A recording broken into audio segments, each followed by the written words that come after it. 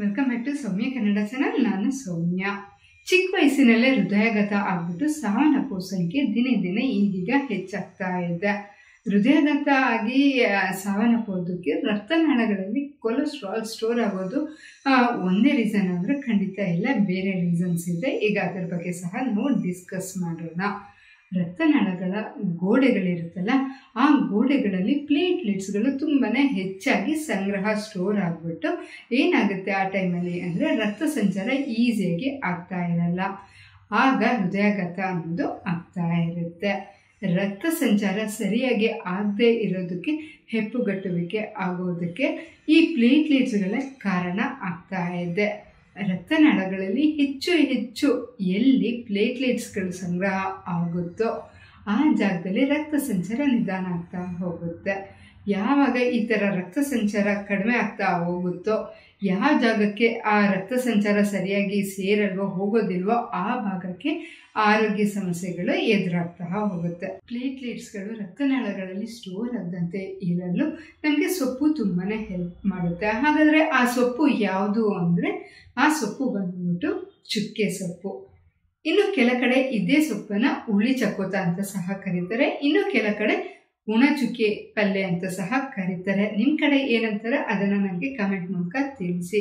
ಇನ್ನು national university republic of Korea ಇವರು ಈ ಸೊಪ್ಪನ್ನು ತಗೊಂಡು ಪರಿಶೀಲನೆ ಮಾಡಿಬಿಟ್ಟು ಪ್ರೂವ್ ಮಾಡಿದ್ದಾರೆ. ಏನು ಇದ್ರ ಕೆಲಸ ಹೇಗೆ, ಇದು ಹೇಗೆ ನಮಗೆ ಹೆಲ್ಪ್ ಮಾಡುತ್ತೆ ಅಂತ ಪ್ರೂವ್ ಮಾಡಿದ್ದಾರೆ. ಹಾಗಾದರೆ ಅದನ್ನು ಸಹ ತಿಳಿಯೋಣ ಬನ್ನಿ. ಇದರಲ್ಲಿರೋ ಪ್ಯಾರಿಪೇನ್ ಇರ್ಬೋದು ಫೆನೋಲಾಯ್ಡ್ಸ್ ಇರ್ಬೋದು, ಇದು ರಕ್ತನಾಳದ ಗೋಡೆಗಳಲ್ಲಿ ಸಂಗ್ರಹ ಆಗಿರೋ ಪ್ಲೇಟ್ಲೆಟ್ಸ್ಗಳನ್ನ ಕ್ಲಾಟ್ ಆಗದಂತೆ ಈಸಿಯಾಗಿ ಮುಂದಕ್ಕೆ ಸಾಗುವಂತೆ ಇವು ಹೆಲ್ಪ್ ಮಾಡುತ್ತಂತೆ. ರಕ್ತನಾಳದ ಗೋಡೆಗಳಲ್ಲಿ ಎಂಡೋಥೇನಿಯಂ ಅನ್ನೋದು ಪೊರೆ ಇರುತ್ತೆ, ಅಲ್ಲೇ ಪೊರೆಗಳಿಂದ ನೈಟ್ರಿಕ್ ಆ್ಯಸಿಡ್ ಹೆಚ್ಚಾಗಿ ರಿಲೀಸ್ ಆಗುವಂಥ ಮಾಡಿಬಿಟ್ಟು ಇದರಿಂದ ನೈಟ್ರಿಕ್ ಆ್ಯಸಿಡ್ ನಮ್ಮ ರಕ್ತವನ್ನು ಸ್ಮೂತಾಗಿ ಸಂಚಾರ ಮಾಡುವಂತೆ ಈ ಸೊಪ್ಪು ನಮಗೆ ಹೆಲ್ಪ್ ಮಾಡುತ್ತಂತೆ.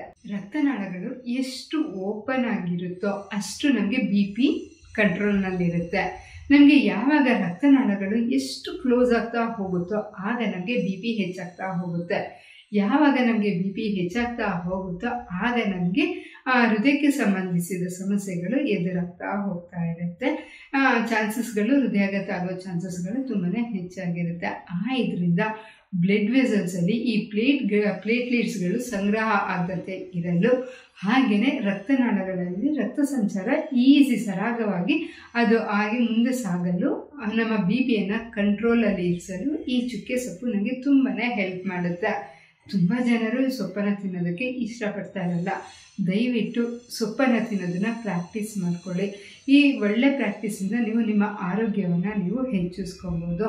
ನಿಮ್ಮ ಆರೋಗ್ಯದ, ಆ, ಹೃದಯದ ಆಯಸನ ನೀವು ಗಟ್ಟಿಪಡಿಸ್ಕೊಬೋದು ಅಂತ ನಾನು ಹೇಳ್ತಾ ಈ ವಿಡಿಯೋವನ್ನು ನಾನು ಏನು ಮಾಡ್ತಾ ಇದ್ದೀನಿ. ಈ ವಿಡಿಯೋ ನಿಮಗೆ ಯೂಸ್ಫುಲ್ ಹಾಗೆ ಇಷ್ಟ ಆಗಿದ್ರೆ ಪ್ಲೀಸ್ ಲೈಕ್ ಮಾಡಿ ಶೇರ್ ಮಾಡಿ. ಇನ್ನು ಯಾರೆಲ್ಲ ನಮ್ಮ ಚಾನಲನ್ನು ಸಬ್ಸ್ಕ್ರೈಬ್ ಆಗಿಲ್ವೋ ದಯವಿಟ್ಟು ಈಗಲೇ ನೀವು ನಮ್ಮ ಚಾನಲನ್ನು ಸಬ್ಸ್ಕ್ರೈಬ್ ಮಾಡ್ಕೊಳ್ಳಿ. ಧನ್ಯವಾದಗಳು.